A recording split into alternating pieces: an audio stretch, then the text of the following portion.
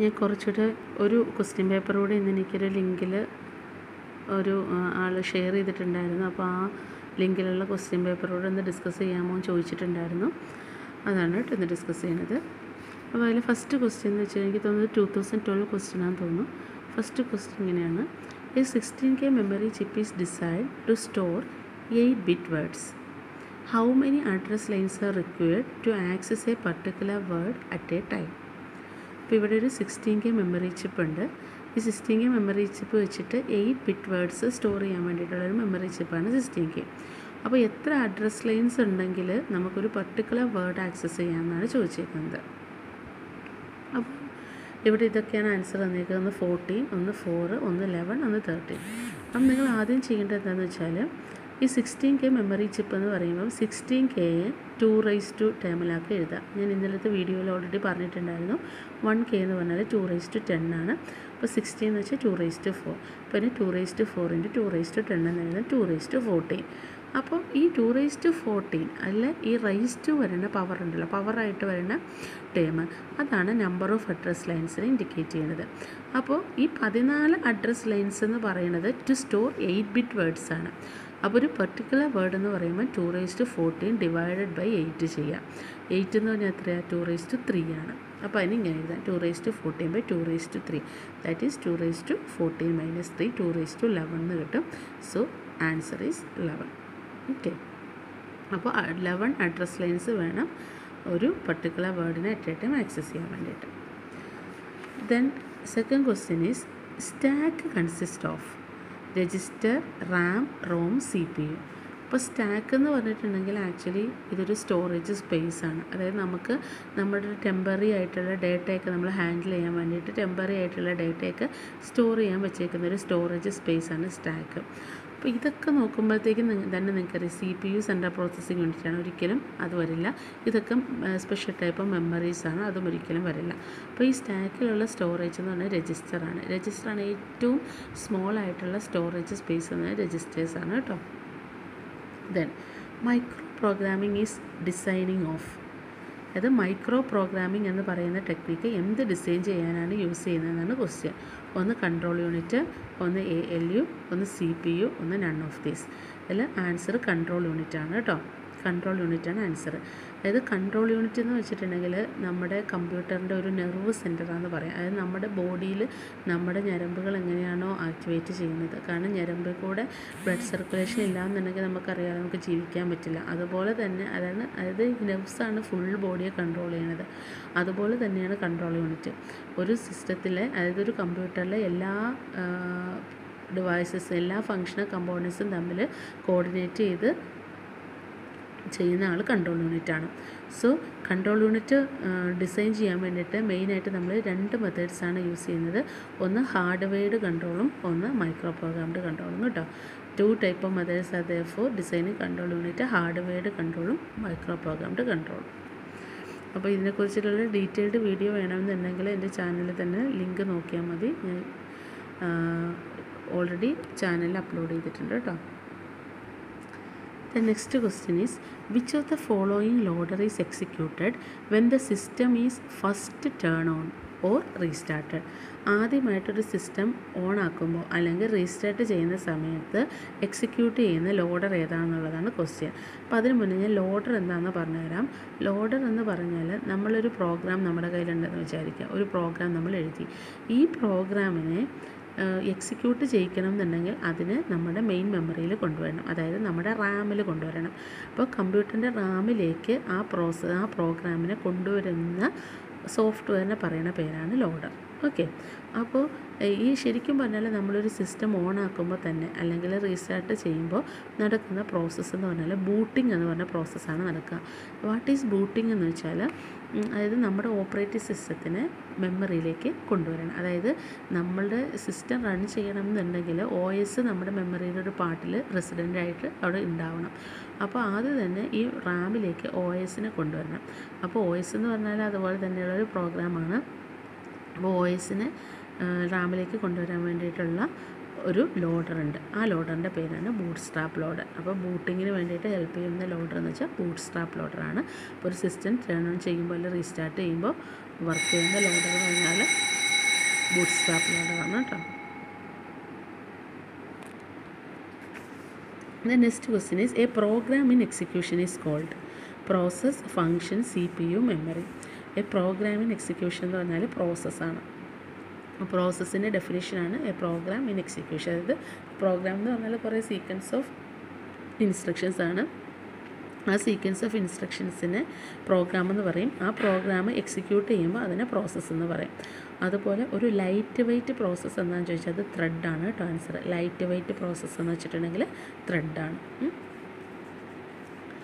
the blocking factor of a file is ഇനി ഒരു ഫയലിന്റെ ബ്ലോക്കിംഗ് ഫാക്ടർ എന്താണെന്നുള്ളതാണ് അടുത്ത question the number of blocks accessible to a file the number of blocks allocated to a file the number of logical records in one physical records none of the above ഇത് blocking factor ഒരു file എന്ന് പറഞ്ഞ ഒരു storage space ആണ്. നമുക്കറിയാലോ നമ്മളൊക്കെ സാധാരണ ഒരു ഫയൽസ് ആയിട്ടായിരിക്കും ഡേറ്റ സ്റ്റോർ ചെയ്തിട്ടുണ്ടാവുക കമ്പ്യൂട്ടറിനകത്ത്. അപ്പോൾ അതിന് ബ്ലോക്കി ഫാക്ടർ എന്ന് വെച്ചിട്ടുണ്ടെങ്കിൽ എത്ര ലോജിക്കൽ റെക്കോർഡ്സ് ഒരു ഫിസിക്കൽ റെക്കോർഡ്സിൽ ഉണ്ടെന്നുള്ള നമ്പറാണ് കേട്ടോ. അതാണ് blocking factor then which of the following data structures are indexed structures which of the following data structures are indexed structures linear arrays linked list both of the above none of these ഇതിൽ linear arrays ആണ് correct answer data structure എന്ന് വെച്ചാൽ ഒന്നുമില്ല. നമ്മുടെ നമ്മൾ പ്രോസസ്സിങ്ങിന് വേണ്ടിയിട്ട് use ചെയ്യുന്ന കമ്പ്യൂട്ടറിൽ യൂസ് ചെയ്യുന്ന ഡേറ്റ ഒരു ഓർഗനൈസ്ഡ് ആയിട്ട് സ്റ്റോർ ചെയ്യാൻ വേണ്ടിയിട്ട് യൂസ് ചെയ്യുന്ന ഒരു സ്ട്രക്ചറാണ് ഡേറ്റ സ്ട്രക്ചർ അപ്പോൾ ഡേറ്റ സ്ട്രക്ചേഴ്സിന് എക്സാമ്പിളാണ് അറൈസ് എന്ന് പറഞ്ഞ ഡേറ്റ സ്ട്രക്ചറിന് എക്സാമ്പിളാണ് അതുപോലെ ലിങ്ക്ഡ് ലിസ്റ്റ് ഡേറ്റ സ്ട്രക്ചറിന് എക്സാമ്പിളാണ് ട്രീ ഗ്രാഫ് ഇതൊക്കെ ഡേറ്റ സ്ട്രക്ചേഴ്സിന് എക്സാമ്പിൾസ് ആണ്. അപ്പോൾ ഇവിടെ ഉള്ള ക്വസ്റ്റ്യൻ എന്ന് വെച്ചിട്ടുണ്ടെങ്കിൽ ഇൻഡെക്സ്ഡ് സ്ട്രക്ചറുള്ള ഡേറ്റ സ്ട്രക്ചർ ഏതാണെന്നാണ് ക്വസ്റ്റ്യൻ ഇൻഡെക്സ് എന്ന് വെച്ചിട്ടുണ്ടെങ്കിൽ നമുക്ക് ഓരോ പൊസിഷനും ഓരോ നമ്പർ കൊടുത്ത് ചെയ്യാൻ പറ്റണം. അതിപ്പോൾ നമ്മൾ സാധാരണ ടേബിൾ ഫോമായിട്ടല്ലേ അതായത് ഇനീഷ്യലി ഒരു ഇപ്പോൾ ഒരു ബുക്കിന്റെ ചാപ്റ്റർ ഒക്കെ ആണെന്നുണ്ടെങ്കിൽ ഇനീഷ്യലി അവിടെ ഒരു ഇൻഡെക്സിങ് ഉണ്ടായിരിക്കും. അത് ഏത് ചാ ഇപ്പോൾ ഇൻട്രഡക്ഷൻ ഏത് നമ്പർ കൊടുത്തിട്ടുണ്ടാവും. ഒരു ഇൻഡെക്സ് ഉണ്ടാവും. ആ ഇൻഡെക്സ് നോക്കിയിട്ട് നമുക്ക് ആ നമ്പർ ഏത് പേജ് നമ്പറാണെന്ന് അറിയാൻ പറ്റും അല്ലേ? അപ്പോൾ അതുപോലെ ഒരു ഇൻഡെക്സ് ഓരോ ഇലമെന്റിനെ നമുക്ക് ഇൻഡെക്സിങ് ആയിട്ട് ആക്സസ് ചെയ്യാൻ പറ്റുന്നത് ലീനിയർ അറേസ് ആണ് കേട്ടോ അറേ ഇപ്പോൾ എ എന്ന് പറയുന്ന അറിയണമെങ്കിൽ എ ഓഫ് സീറോ എന്ന് പറഞ്ഞാൽ ഫസ്റ്റ് ഇലമെന്റ് കിട്ടും. എ ഓഫ് വൺ എന്ന് പറഞ്ഞാൽ സെക്കൻഡ് ഇലമെന്റ് കിട്ടും. എ ഓഫ് ടു എന്ന് പറഞ്ഞാൽ തേർഡ് ഇലമെന്റ് കിട്ടും. അങ്ങനെയാണ് അറേ സ്റ്റോർ ചെയ്യണത് അപ്പോൾ ഇൻഡെക്സിന്റെ ഡേറ്റ സ്ട്രക്ചർ എന്ന് വെച്ചിട്ടുണ്ടെങ്കിൽ അറയാണ് ലിങ്ക്ഡ് ലിസ്റ്റ് എന്ന് വെച്ചിട്ടുണ്ടെങ്കിൽ അങ്ങനെയല്ല. ലിങ്ക്ഡ് ലിസ്റ്റ് ആക്ച്വലി സ്റ്റോർ ചെയ്യണത് എങ്ങനെയാണെന്ന് വെച്ചിട്ടുണ്ടെങ്കിൽ ലിങ്ക് ലിസ്റ്റ് ആക്ച്വലി സ്റ്റോർ ചെയ്യണത് ഇതുപോലെയാണ്. അതായത് ഇവിടെ ഓരോ നോഡ് എന്ന് പറഞ്ഞൊരു കോൺസെപ്റ്റാണ് ഓരോ ഇലമെന്റും ഓരോ നോഡിലായിരിക്കും സ്റ്റോർ ചെയ്തിട്ടുണ്ടാവുക. അപ്പോൾ ഒരു നോഡിൽ നിന്ന് അടുത്ത നോഡിലേക്കുള്ള ഒരു ലിങ്ക് ഉണ്ടാവും ഒരു പോയിന്റർ ഉണ്ടാവും. ഈ ഈ പോയിന്ററാണ് അടുത്ത നോഡിലേക്ക് പോയിന്റ് ചെയ്യണത് അല്ലാതെ ഒരു ഇൻഡെക്സ് സ്ട്രക്ചർ അല്ല കേട്ടോ. The complexity of a linear search algorithm is അപ്പോൾ നമ്മൾ ഇന്നലത്തെ വീഡിയോ കണ്ടിട്ടുള്ളവർ ഉണ്ടെങ്കിൽ ഓർമ്മയുണ്ടാവും. നമ്മൾ ഇന്നലെ ബൈനറി സെർച്ച് അൽഗോരിതം പറഞ്ഞായിരുന്നു. ഓർഡർ ഓഫ് ലോഗൻ എന്ന് പറഞ്ഞായിരുന്നു അല്ലേ? അതുപോലെ ലീനിയർ സെർച്ച് അൽഗോരിതത്തിന്റെ കോംപ്ലക്സിറ്റിയാണ് ഇവിടെ ചോദിച്ചിരിക്കുന്നത്. ഓർഡർ ഓഫ് എൻ ആണ് കേട്ടോ. അപ്പോൾ ഇന്നലെ ഞാൻ ജനറൽ ആയിട്ടുള്ള കുറച്ച് കോൺസെപ്റ്റുകൾ കുറച്ച് കോംപ്ലക്സിറ്റീസ് സോർട്ടിങ്ങിന്റെയും ഒക്കെ ഷെയർ ചെയ്തിട്ടുണ്ടായിരുന്നു. വീഡിയോ കാണാത്തവരുണ്ടെങ്കിൽ കാണാം. അപ്പോൾ ലീനിയർ സെർച്ച് എന്ന് വെച്ചിട്ടുണ്ടെങ്കിൽ ഓർഡർ ഓഫ് എൻ ആണ് ഇതിന്റെ complexity the next question is what is a main function of a transport layer transport layer എന്ന് വച്ചിട്ടുണ്ടെങ്കിൽ ഇത് ആക്ച്വലി നെറ്റ്വർക്കിൽ വരുന്നൊരു കോൺസെപ്റ്റാണ്. നമ്മളൊരു നെറ്റ്വർക്ക് ബിൽഡ് ചെയ്യുന്ന സമയത്ത് ഒരു പർട്ടിക്കുലർ സ്റ്റാൻഡേർഡ് മോഡൽ നമ്മൾ യൂസ് ചെയ്യാറുണ്ട്. അതിന്റെ പേരാണ് ഒ എസ് ഐ ലെയർ എന്ന് പറയും. O S I models. അപ്പോൾ ഈ ഒ എസ് സി മോഡലിലുള്ള ഒരു ലെയറാണ് transport layer O S C layer എന്ന് പറയുമ്പോഴത്തേക്കും അതിനകത്ത് ആക്ച്വലി കുറേ ലെയേഴ്സ് ഉണ്ട്. ഒന്ന് ഫിസിക്കൽ ലെയർ ഉണ്ട് പിന്നെ data layer network layer then transport layer session layer presentation layer then application layer ഇങ്ങനെ പറഞ്ഞ കുറേ ലെയേഴ്സ് ഉണ്ട്. അപ്പോൾ നിങ്ങളുടെ സിലബസിൽ ഇപ്പോഴത്തെ സിലബസിൽ ഒന്നും പറഞ്ഞിട്ടില്ല. അതുകൊണ്ട് ഇത് ചോദിക്കാനുള്ള ചാൻസ് വളരെ വിരളമാണ് കേട്ടോ. അപ്പോൾ ട്രാൻസ്പോർട്ട് ലെയറിൽ ഇതിനകത്ത് വരുന്ന ഫംഗ്ഷൻ എന്ന് വെച്ചിട്ടുണ്ടെങ്കിൽ പ്രോസസ് ടു പ്രോസസ് മെസ്സേജ് ഡെലിവറിയാണ് ട്രാൻസ്പോർട്ട് ഫംഗ്ഷൻ ചെയ്യുന്നത്. അതായത് രണ്ടൊരു മെസ്സേജും ഒരു ഒരു സെന്ററും ഒരു റിസീവറും ഉണ്ടെന്നുണ്ടെങ്കിൽ അവർ തമ്മിൽ കണക്ട് ചെയ്യിക്കുന്ന ലെയറാണ് ഒരു കണക്ഷൻ എസ്റ്റാബ്ലിഷ് ചെയ്യുന്ന ലെയറാണ് transport layer process to process message ഡെലിവറിയാണ് അവിടെ നടക്കുന്നത്. The next question is which of the following is a database administrator function? Database അഡ്മിനിസ്ട്രേറ്ററിന്റെ function ഈ പറഞ്ഞേക്കുന്നതിൽ ഏതാണെന്നാണ് ചോദിച്ചേക്കുന്നത്. ഒന്ന് ഡേറ്റാബേസ് ഡിസൈൻ പിന്നെ ഒന്ന് ബാക്കിംഗ് ഓഫ് ദ ഡേറ്റാബേസ്. അതായത് ഡേറ്റാബേസ് ഡിസൈൻ ചെയ്യാം. ബാക്കിംഗ് ഓഫ് ദ ഡേറ്റാബേസ് എന്ന് വെച്ചാൽ നമ്മളിപ്പോൾ ഒരു ഡേറ്റാബേസ് നമ്മുടെ കയ്യിലുണ്ടെങ്കിൽ എങ്ങാനും ആ സിസ്റ്റം റൂവിനായി പോയാലും ക്രാഷായി പോയിട്ടുണ്ടെങ്കിൽ നമുക്ക് ഡേറ്റയൊക്കെ കിട്ടണമല്ലോ. അപ്പോൾ നമ്മൾ സേഫായിട്ട് വേറൊരു സ്ഥലത്തോടെ ബാക്കപ്പ് ചെയ്ത് വെക്കണം. Then user coordination all of them അപ്പോൾ ഈ കാര്യങ്ങളൊക്കെ ചെയ്യുന്നത് ഡേറ്റാബേസ് അഡ്മിനിസ്ട്രേറ്റർ തന്നെയാണ് കേട്ടോ. ഇതൊക്കെ ഒരു ഡേറ്റാബേസ് അഡ്മിന്റെ ഫംഗ്ഷനായിട്ട് നമുക്ക് പറയാം. Database design backing of the database and user coordination the next question is in S Q L which command is use to enable or disable a database trigger എന്നാണ്. ഇതൊരു database trigger enable ചെയ്യാൻ അല്ലെങ്കിൽ disable ചെയ്യാൻ S Q L use ചെയ്യുന്ന command modify user change user alter user none of the above actually ഇതിൽ alter use എന്ന് പറയുന്നതാണ് answer കീയിൽ correct ആൻസറായിട്ട് കണ്ടത്. പക്ഷേ നമ്മൾ സാധാരണയായിട്ട് യൂസ് ചെയ്യുന്നത് ട്രിഗർ എന്ന് പറഞ്ഞൊരു കീവേഡ് തന്നെയാണ് കേട്ടോ. ക്രിയേറ്റ് ട്രിഗർ ഓൾട്ടർ ട്രിഗർ എന്ന് പറഞ്ഞിട്ടാണ് സാധാരണയായിട്ട് യൂസ് ചെയ്ത് കണ്ടിട്ടുള്ളത് ഈ ക്വസ്റ്റ്യനിൽ. ക്വസ്റ്റ്യൻ ഒന്നുകൂടെ നോക്കിക്കോളാം കേട്ടോ. പക്ഷേ ഇതും നിങ്ങളുടെ സിലബസിൽ ഇല്ല. നിങ്ങൾക്ക് ചോദിക്കാൻ ചാൻസ് കുറവാണ്. പക്ഷേ ഈ ട്രിഗർ എന്ന് വെച്ചാൽ ഒന്നുമില്ല. അതായത് ഒരു പെർട്ടിക്കുലർ അതായത് ഇപ്പോൾ ഫോർ എക്സാമ്പിൾ ഇപ്പോൾ നമ്മുടെ എസ് ബി ഐയുടെ ഒക്കെ നമ്മളൊരു bank balance minimum bank balance ഉള്ളൊരു അക്കൗണ്ടാണ് തുടങ്ങിയതെന്നുണ്ടെങ്കിൽ നമ്മൾ ഓട്ടോമാറ്റിക്കലി പണം പിൻവലിക്കുന്ന സമയത്ത് ഇത്ര രൂപ മിനിമം വേണമെന്നുണ്ടാവും ബാലൻസ്. അപ്പോൾ ബാലൻസ് ഇത്ര ഇല്ലെങ്കിൽ ഇത്ര എമൗണ്ട് നമ്മുടെ അക്കൗണ്ടിൽ നിന്ന് ഡിഡക്റ്റ് ചെയ്യും. അങ്ങനത്തെയൊക്കെ പരിപാടികളല്ലേ? അപ്പോൾ അങ്ങനത്തെയൊക്കെ കേസിൽ ഇനീഷ്യലി ഒരു ട്രാൻസാക്ഷൻ തുടങ്ങുന്നതിന് മുമ്പ് തന്നെ ഈ ട്രിഗർ വർക്കൗട്ട് വർക്കൗട്ട് ചെയ്യും. അതായത് ഇതുപോലെ അതായത് ഓട്ടോമാറ്റിക് ഇത് സെവൻ ഇപ്പോൾ ബാലൻസ് സെവൻ ഫിഫ്റ്റിയിൽ കുറവാണ് തൗസൻഡ് കുറവാണെന്നുണ്ടെങ്കിൽ ട്വന്റി ഫൈവ് റുപ്പീസ് ഡിഡക്റ്റ് ചെയ്യുക അങ്ങനെ ഓട്ടോമാറ്റിക്കായിട്ട് നടക്കുന്ന ഫങ്ഷൻസിനാണ് നമ്മൾ സാധാരണ ട്രിഗർ എന്ന് പറയുന്നത് കേട്ടോ. അപ്പോൾ ക്രിയേറ്റ് ട്രിഗർ എന്ന് പറഞ്ഞ ഫംഗ്ഷൻ ഉണ്ട് മോഡിഫൈ ട്രിഗർ ഓൾട്ടർ ട്രിഗർ ഒക്കെ ഉണ്ട് കേട്ടോ.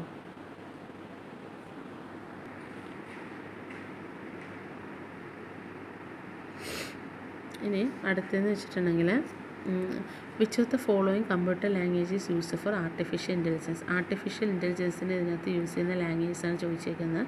ഫോട്ടോ പ്രലോക കോബോൾ എന്ന് നമ്മൾ സാധാരണയായിട്ട് ആർട്ടിഫിഷ്യൽ ഇന്റലിജൻസിൽ യൂസ് ചെയ്യുന്ന ലാംഗ്വേജസ് അല്ല കേട്ടോ. None of the born answer അപ്പോൾ സാധാരണ നമ്മൾ ഇപ്പോൾ പൈത്തൺ എന്ന് പറഞ്ഞ ലാംഗ്വേജ് ഒക്കെ നമ്മൾ അതിന് വേണ്ടിയിട്ട് യൂസ് ചെയ്യുന്നുണ്ട്. അതുപോലെ തന്നെ അതിന് വേണ്ടിയിട്ട് ആർട്ടിഫിഷ്യൽ ഇന്റലിജൻസിന്റെ ആപ്ലിക്കേഷനുണ്ട് പല പല ടൂൾസ് ഇപ്പോൾ അവൈലബിൾ ആണ്. Then in which year were chips are use inside the computer for the first day അപ്പോൾ ഏത് ഇയറിലാണ് കമ്പ്യൂട്ടറിനകത്ത് ചിപ്സ് യൂസ് ചെയ്ത് തുടങ്ങിയെന്നുള്ളതാണ് ആക്ച്വലി തേർഡ് ജനറേഷൻ വന്നപ്പോഴാണ് നമ്മൾ ഐ സി സി യൂസ് ചെയ്യാൻ തുടങ്ങിയത് കേട്ടോ ഇത് നയന്റീൻ സെവന്റി ഫൈവിലാണ് ആക്ച്വലി വന്ന ചിപ്സ് നമ്മൾ ഇൻസൈഡ് യൂസ് ചെയ്യാൻ തുടങ്ങിയത് nineteen seventy ഫൈവിലാണ് then what type of magnetic material is normally use in bubble memories bubble മെമ്മറീസിൽ use ചെയ്യുന്ന മാഗ്നറ്റിക് മെറ്റീരിയൽ ഏതാണെന്നുള്ളതാണ് ക്വസ്റ്റ്യൻ ഈ ബബിൾ മെമ്മറി എന്ന് പറഞ്ഞാൽ ആക്ച്വലി നോൺ വോളറ്റൈൽ മെമ്മറിയാണ് കേട്ടോ ഈ നോൺ വോളറ്റൈൽ മെമ്മറി ബബിൾ മെമ്മറിയിൽ എങ്ങനെയാണെന്ന് വെച്ചിട്ടുണ്ടെങ്കിൽ ഇത് ഈ ബബിൾ എന്ന് പറയുന്നത് ഒരു സ്റ്റോറേജ് സ്പേസ് ആയിട്ടാണ് കൺസിഡർ ചെയ്യുന്നത്. ഒരു ബബിളിൽ ഒരു ബിറ്റ് സ്റ്റോർ ചെയ്യാൻ പറ്റും. അതുപോലെയുള്ള ഒരു മെമ്മറിയാണ് ബബിൾ മെമ്മറി അപ്പം ബബിൾ മെമ്മറിയിൽ യൂസ് ചെയ്യുന്ന മാഗ്നറ്റിക് മെറ്റീരിയൽ എന്ന് വെച്ചാൽ ഗാർണറ്റാണ് അപ്പോൾ ഇതിന് ഈ ബബിൾ മെമ്മറിയുടെ സ്പെസിഫിക്കേഷനും അതിന്റെ സ്ട്രക്ചറിനും പറ്റിയ മാഗ്നറ്റിക് മെറ്റീരിയൽ കുറേ സെർച്ച് ചെയ്തിട്ട് കുറേ അധികം ട്രയൽസിന് ശേഷം കണ്ടുപിടിച്ചൊരു മാഗ്നറ്റിക് മെറ്റീരിയലാണ് garnet then when the world's first laptop computer introduced in the market when was the first world laptop computer introduce in the market and by whom. ആരാണ് ആദ്യമായിട്ട് ലാപ്ടോപ്പ് വിപണിയിൽ ഇറക്കിയെന്നുള്ളതാണ് ക്വസ്റ്റ്യൻ. ഏത് വർഷം? അതായത് ആക്ച്വലി ഇത് എപ്സൺ ആണ് കേട്ടോ ഇറക്കിയത്. എപ്സൺ നയന്റീൻ എയ്റ്റി വണ്ണിൽ എപ്സൺ ആണ് ആക്ച്വലി ഫസ്റ്റ് ലാപ്ടോപ്പ് വിപണിയിൽ എത്തിച്ചത്. The next question. Two's complement number of one one zero zero one zero. Zero zero one സീറോയുടെ two's complement നമ്മൾ ടൂസ് കോംപ്ലിമെന്റും വൺസ് കോംപ്ലിമെന്റും ബൈനറി അഡീഷനൊക്കെ നമ്മൾ ആദ്യത്തെ വീഡിയോയിൽ മുന്നത്തെ പ്രീവിയസ് വീഡിയോസിൽ കണ്ടിട്ടുണ്ട്. നിങ്ങൾക്ക് അറിയാലോ ഇത് ചെയ്യാൻ. അപ്പോൾ ഇതിന് ടൂസ് വൺസ് കോംപ്ലിമെന്റ് ആദ്യം കാണുക. ഇതിന്റെ വൺസ് കോംപ്ലിമെന്റ് കാണണമെങ്കിൽ എന്താ ചെയ്യുക വണ്ണിന് സീറോ ആക്കുക സീറോയെ വൺ ആക്കുക. Zero zero one one zero one എന്ന് കിട്ടും. അപ്പോൾ അതിന്റെ കൂടെ ഒരു വണ്ണൂടെ ആഡ് ചെയ്യുമ്പോൾ എന്ത് കിട്ടും? ടൂസ് കോംപ്ലിമെന്റ് കിട്ടും. One plus one zero with a carry one വണ്ണും സീറോയും കൂടെ ആഡ് ചെയ്യുമ്പോൾ വൺ കിട്ടും വൺ വൺ വൺ ഇതാണ് answer zero zero triple one zero അങ്ങനെ വലിയൊരു ആൻസർ ഇവിടെ ഇല്ല. അപ്പം നൺ ഓഫ് ദ എബോ ആണ് ആൻസർ കേട്ടോ. Then in the third generation computers in the third generation of computers first option പറയുന്നത് distributed data processing first become popular അടുത്ത option an operating system was first developed മൂന്നാമത്തെ high level procedure languages were developed നാലാമത്തത് online real time system first become popular. അപ്പോൾ third generation പറയുന്നതിന് മുന്നേ ഇത് കാര്യങ്ങളോട് ഓർത്തിരിക്കുക. ഫസ്റ്റ് ജനറേഷൻ കമ്പ്യൂട്ടർ എന്ന് പറയുമ്പോൾ നമ്മൾ അതിനകത്ത് വാക്കൺ ട്യൂബ്സാണ് യൂസ് ചെയ്തുകൊണ്ടിരുന്നത്. സെക്കൻഡ് ജനറേഷൻ നമ്മൾ ട്രാൻസിസ്റ്ററാണ് യൂസ് ചെയ്തുകൊണ്ടിരുന്നത്. Third generation I C fourth വന്നപ്പോൾ വി എൽ ഐ സി അതായത് very large scale I C integration സർക്യൂട്ട്സാണ് നമ്മൾ യൂസ് ചെയ്യുന്നത്. അപ്പോൾ ഈ തേർഡ് ജനറേഷൻ കമ്പ്യൂട്ടേഴ്സിൽ ആക്ച്വലി വന്നത് ഒരു ഓൺലൈൻ റിയൽ ടൈം സിസ്റ്റം ആദ്യമായിട്ട് പോപ്പുലർ ആയത് തേർഡ് ജനറേഷൻ കമ്പ്യൂട്ടേഴ്സിലാണ് റിയൽ ടൈം സിസ്റ്റം എന്ന് വെച്ചിട്ടുണ്ടെങ്കിൽ ഇതിന് മുന്നേയുള്ള പാർട്ട് ത്രീ വീഡിയോസിൽ ഞാൻ പറഞ്ഞിട്ടുണ്ട്. ഓപ്പറേറ്റിംഗ് സിസ്റ്റം പറഞ്ഞ കൂട്ടത്തിൽ പറഞ്ഞിട്ടുണ്ട്. റിയൽ ടൈം സിസ്റ്റം എന്ന് വെച്ചാൽ ടൈമിന് കൂടുതൽ ഇമ്പോർട്ടൻസ് കൊടുക്കുന്ന സിസ്റ്റമാണ് അതായത് നോർമലി നമ്മൾ മൂന്നും രണ്ടും കൂടെ കൂട്ടിയാൽ അഞ്ച് കിട്ടും. അത് എപ്പോൾ കിട്ടിയാലും റിലവന്റ് ആണ്. പക്ഷേ റിയൽ ടൈം സിസ്റ്റം എന്ന് വെച്ചാൽ particular time within two seconds കിട്ടണം എന്നുണ്ടെങ്കിൽ ആ വിത്തിൻ ടു സെക്കൻഡ്സ് ഫൈവ് കിട്ടിയാൽ മാത്രമേ റിലവന്റ് ആയിട്ടുള്ളൂ എടുക്കുള്ളൂ. അപ്പോൾ ഈ റിയൽ ടൈം കോൺസെപ്റ്റ് വന്നത് തേർഡ് ജനറേഷൻ കമ്പ്യൂട്ടറിലാണ് കേട്ടോ. അപ്പോൾ ഇപ്പോൾ actually the research is going on fifth generation അപ്പോൾ ആർട്ടിഫിഷ്യൽ ഇന്റലിജൻസ് ആണ് ഫിഫ്ത്ത് ജനറേഷൻ കമ്പ്യൂട്ടേഴ്സിൽ മെയിൻ ആയിട്ടുള്ളതെന്ന് പറഞ്ഞാൽ ആർട്ടിഫിഷ്യൽ ഇന്റലിജൻസ് ആണ്. അതായത് ഫസ്റ്റ് ജനറേഷൻ കമ്പ്യൂട്ടർ വന്നപ്പോൾ നമ്മൾ മെഷീൻ ലാംഗ്വേജ് യൂസ് ചെയ്തു. സെക്കൻഡ് ജനറേഷൻ ലാംഗ്വേജ് വന്ന സെക്കൻഡ് ജനറേഷൻ വന്നപ്പോൾ നമ്മൾ അസംബ്ലി ലെവൽ ലാംഗ്വേജിലേക്ക് വന്നു. Third generation language third generation computers വന്നപ്പോൾ നമ്മൾ ഹൈ ലെവൽ ലാംഗ്വേജിലേക്ക് വന്നു. പിന്നെ ഫോർത്ത് വന്നപ്പോൾ നമ്മൾ ഡൊമൈൻ സ്പെസിഫിക് ലാംഗ്വേജസ് ലൈക്ക് ഇപ്പോൾ database programming S Q L അങ്ങനെയൊക്കെയുള്ള കാര്യങ്ങൾ ഇൻവെന്റ് ചെയ്തു. പിന്നെ ഇനി അടുത്ത ഫിഫ്ത്ത് ജനറേഷനിലാണ് ഇപ്പോൾ ആർട്ടിഫിഷ്യൽ ഇന്റലിജൻസിനെ പോലെയുള്ള ലാംഗ്വേജസ് നമ്മളിപ്പോൾ നടന്നുകൊണ്ടിരിക്കുന്നത് കേട്ടോ. Then what is the number of bit patterns provided by seven bit code അപ്പോൾ അതായത് ഒരു സെവൻ ബിറ്റ് കോഡ് നമുക്ക് തന്നിട്ടുണ്ടെങ്കിൽ അത് വെച്ച് എത്ര ബിറ്റ് പാറ്റേൺ ഉണ്ടാക്കാം എന്നുള്ളതാണ് ക്വസ്റ്റ്യൻ ഇപ്പോൾ ഒരു ടു ബിറ്റ് കോഡാണ് നിങ്ങൾ വിചാരിക്കുക. രണ്ട് ഡിജിറ്റ് വെച്ചിട്ട് എനിക്ക് എത്ര കോമ്പിനേഷൻ ഉണ്ടാക്കാം? നാല് കോമ്പിനേഷൻ ഉണ്ടാക്കാം. മൂന്ന് ഡിജിറ്റ് വെച്ചിട്ട് എനിക്ക് എത്ര കോമ്പിനേഷൻ ഉണ്ടാക്കാം? എട്ട് കോമ്പിനേഷൻ ഉണ്ടാക്കാം. അപ്പോൾ സെവൻ ബിറ്റ് വെച്ചിട്ടോ? ടു റേസ്റ്റ് സെവൻ അപ്പം ടു ആണെങ്കിൽ four two raised two four three ആണെങ്കിൽ eight two raised three eight അപ്പോൾ സെവൻ ആണെങ്കിലോ? ടു റേസ്റ്റ് സെവൻ അപ്പോൾ ടു റേസ്റ്റ് സെവൻ എന്ന് വെച്ചാൽ one twenty eight one twenty eight ആണ് ആൻസർ കേട്ടോ. The next question is a generalized software package produced uh, to meet the of a variety of data processing users is known as. അപ്പോൾ ഒരു generalised software package എന്തിനു വേണ്ടിയിട്ടാണ്? നമ്മുടെ കയ്യിൽ കുറേ variety data processing യൂസേഴ്സിന്റെ യൂസേഴ്സ് ഉണ്ട്. അവരുടെ കുറേ ബഗ്സ് ഉണ്ട്. അതിനെ ഹാൻഡിൽ ചെയ്യാൻ വേണ്ടിയിട്ടൊരു ജനറലൈസ്ഡ് സോഫ്റ്റ്വെയർ പാക്കേജ് ഉണ്ടാക്കുക. അതിന് എന്തെന്ന് പറയുന്നതാണ് ക്വസ്റ്റ്യൻ യൂട്ടിലിറ്റി പ്രോഗ്രാം ആണോ സിസ്റ്റം സോഫ്റ്റ്വെയർ ആണോ ഓപ്പറേറ്റിംഗ് സിസ്റ്റം ആണോ ആപ്ലിക്കേഷൻ പാക്കേജ് ആണോ? ഓപ്പറേറ്റിംഗ് സിസ്റ്റം നിങ്ങൾക്ക് എന്താണെന്നറിയാം കഴിഞ്ഞ വീഡിയോയിൽ ഞാൻ പറഞ്ഞിട്ടുണ്ട് സിസ്റ്റം സോഫ്റ്റ്വെയറും പറഞ്ഞിട്ടുണ്ട് ആപ്ലിക്കേഷൻ സോഫ്റ്റ്വെയറും പറഞ്ഞിട്ടുണ്ട്. അപ്പോൾ ഇത് ആൻസർ ആപ്ലിക്കേഷൻ പാക്കേജ് ആണ് കേട്ടോ. ഇതിൽ യൂട്ടിലിറ്റി പ്രോഗ്രാം എന്ന് വെച്ചിട്ടുണ്ടെങ്കിൽ ഒരു പെർട്ടിക്കുലർ യൂട്ടിലിറ്റിക്ക് വേണ്ടി അതായത് ഒരു പെർട്ടിക്കുലർ റൂട്ടീൻ പെർഫോം ചെയ്യാൻ വേണ്ടിയിട്ട് ഫോർ എക്സാമ്പിൾ ഇപ്പോൾ ഒരു ആന്റിവൈറസ് സോഫ്റ്റ്വെയർ എന്ന് പറഞ്ഞാൽ അതൊരു യൂട്ടിലിറ്റി പ്രോഗ്രാമാണ് ആ പർട്ടിക്കുലർ ആ ഒരു ഡൊമൈൻ ആ ഒരു റൂട്ടീന് വേണ്ടിയിട്ട് മാത്രമാണ് അതുപോലെ ഫയൽ കംപ്രഷൻ അങ്ങനത്തെയൊക്കെ പ്രോഗ്രാംസ് ആണ് യൂട്ടിലിറ്റി പ്രോഗ്രാംസ് എന്ന് പറയാം. അപ്പോൾ ഇതിന്റെ ആൻസർ ആപ്ലിക്കേഷൻ പാക്കേജാണ് then which printer is very commonly used for desktop publishing അതിന് ആൻസർ ലേസർ പ്രിന്ററാണ് സാധാരണയായിട്ട് നമ്മൾ ഡെസ്ക്ടോപ്പ് പബ്ലിഷിങ്ങിന് വേണ്ടിയിട്ട് യൂസ് ചെയ്യുന്ന പ്രിന്റർ എന്ന് വെച്ചിട്ടുണ്ടെങ്കിൽ ലേസർ പ്രിന്ററാണ് കേട്ടോ. അപ്പോൾ ഇത്രയും ക്വസ്റ്റ്യൻസ് ആണ് ഈ ക്വസ്റ്റ്യൻ പേപ്പറിൽ ഉണ്ടായിരുന്നത്. എനിവേ ലിങ്ക് ഷെയർ ചെയ്തതിന് താങ്ക്സ് അപ്പോൾ ഇത് നിങ്ങൾക്ക് ബെനിഫിഷ്യൽ ആവുമെന്ന് വിശ്വസിക്കുന്നു. എനിവേ എക്സാം നന്നായിട്ട് എഴുതുക ഓൾ ദ ബെസ്റ്റ് ഇനിയും ക്വസ്റ്റ്യൻ പേപ്പേഴ്സ് ഉണ്ടെന്നുണ്ടെങ്കിൽ ലിങ്ക് ഉണ്ടെന്നുണ്ടെങ്കിൽ എനിക്ക് ഷെയർ ചെയ്തോളൂ. ഞാൻ ചെയ്തു തരാം. Okay thank you